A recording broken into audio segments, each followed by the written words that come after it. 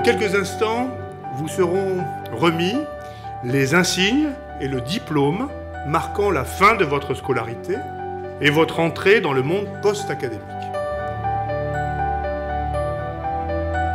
Pour moi déjà c'est un, moment de bonheur en fait de tous se retrouver ensemble aujourd'hui. Euh, en termes de symbole, ben, il y a le côté très formel d'une cérémonie de remise des diplômes et à la fois on a voulu justement avec euh, Carla, euh, à travers notre intervention, rendre ce moment aussi euh, convivial. C'est exactement ce qu'il recherche, des individus et des étudiants capables de comprendre les enjeux macroéconomiques de notre époque. Il y, y, a un esprit, il y a un, un, retour aux sources qui est, qui est assez émouvant. C'est bien euh, de, dire que c'est une période qui est certes révolue, mais qui euh, appelle aussi à construire quelque chose de nouveau tous ensemble.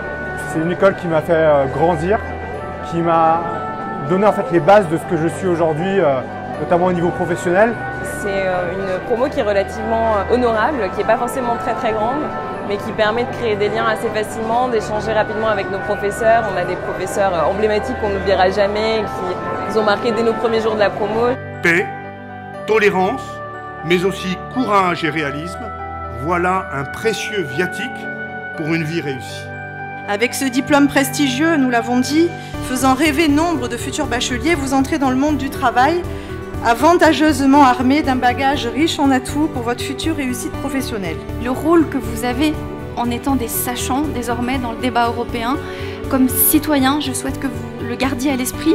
Je vous souhaite à toutes et à tous bonne chance et vous demande de ne jamais oublier cette école qui vous a accompagné et qui demain aura besoin de vous. Une grande école qui vous permettra de comprendre le monde et d'en gouverner les transformations.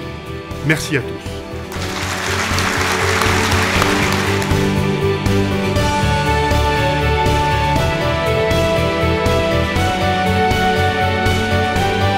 Nous avons créé ensemble, rêvé ensemble, débattu, ri, pleuré.